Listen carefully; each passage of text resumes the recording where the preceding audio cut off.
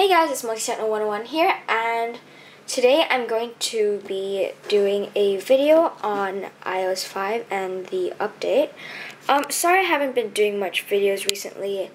The schoolwork, um, well the workload from school has been piling up and stuff, and I just got back from camp, so yeah. But, um, as you know, this is a new video, so yay.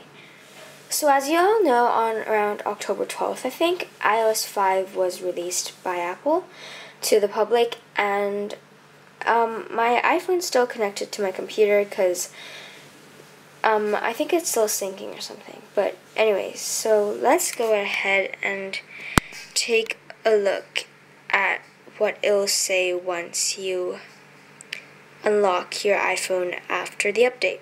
So there we go. You can see restore completed. Your iPhone was restored successfully. There are just a few more steps to follow and then you're done. So then you click continue and you'll be brought to a screen asking for your permission to enable your location services and I'm just going to click enable. Then click on next and you'll be sent on a um, page asking for your Wi-Fi network and it's already connected so I shall go ahead and click yes. So right here it's pretty cool. Um, there's a screen on the new, well on the Apple features of iOS 5 I guess. And right here they ask you for your Apple ID and they say that your Apple ID is used to set up iCloud, App Store, iTunes Store and more on your iPhone.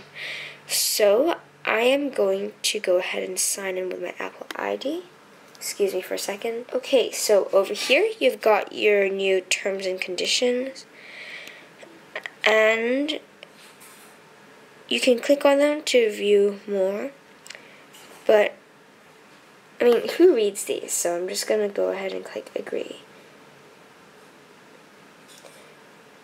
Now, now they're setting up my Apple ID and there's this like scroll wheel thing as you can see and it says it may take a few minutes to set up your Apple ID. So let's go ahead and wait for it to finish. Okay, over here. So as you can see right now there is a window asking you to set up iCloud. So it says that iCloud stores your photos, apps, contacts, calendars, and more, and wirelessly pushes them to your devices. So I'm going to click use iCloud because iCloud is pretty cool. Then I'm going to click next. So then next they're going to ask merge with iCloud. Your contacts, calendars, and bookmarks on this iPhone will be uploaded and merged with iCloud. So I'm just going to click merge. So iCloud backup. Use iCloud to back up your phone daily over Wi-Fi. Backup to iCloud. Next. Alright, so over here there is a Find My iPhone screen. And um, it says, if you misplace your iPhone, Find My iPhone can help you locate it on a map, play a sound, or display a message. So I'm just going to click Use Find My Phone, and I'm going to click Next.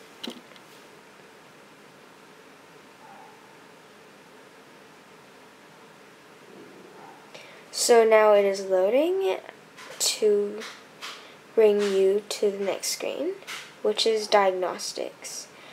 So it says help Apple improve its products and services by automatically sending daily diagnostics and usage data.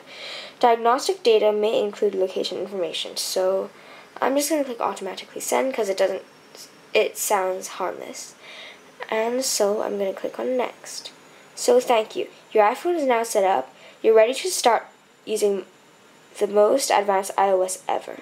So click on start using iPhone and you'll be brought back to your home screen.